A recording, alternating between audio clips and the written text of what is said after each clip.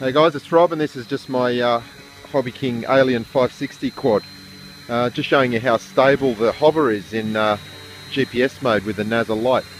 And I've just got my transmitter on the ground there, so I'm not even actually flying it. Just in uh, GPS hover mode. It's a little bit windy in the yard at the moment, but as you can see, it only goes up and down a few inches. It's got a barometer, which measures the altitude, and it's actually quite accurate. And uh, yeah, the GPS is just holding beautifully.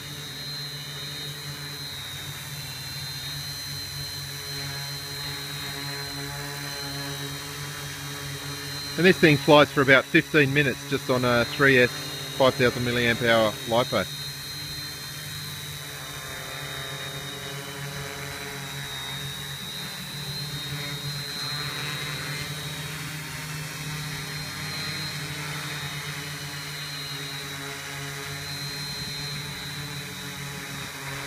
once again, the transmitter's just over there on the ground.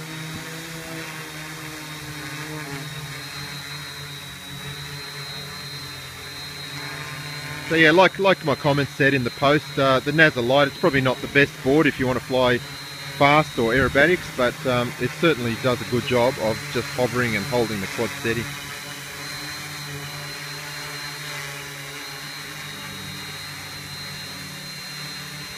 Okay, I'll go back and I'll take it up a bit higher. Basically, to get it to hover in one altitude, you put the stick, the throttle stick right in the middle. And uh, what I'll do is I'll just move it forward and you'll see it goes up fairly quickly. Not really doing anything else, it's just climbing in a vertical GPS column. And if I put that stick back, the throttle stick right back to the middle, it will actually just hover at that new altitude.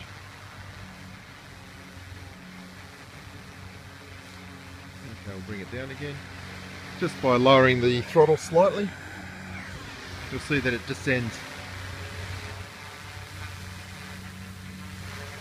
Otherwise I'm not doing anything else. I'm not touching any of the other controls. It's just holding its GPS position.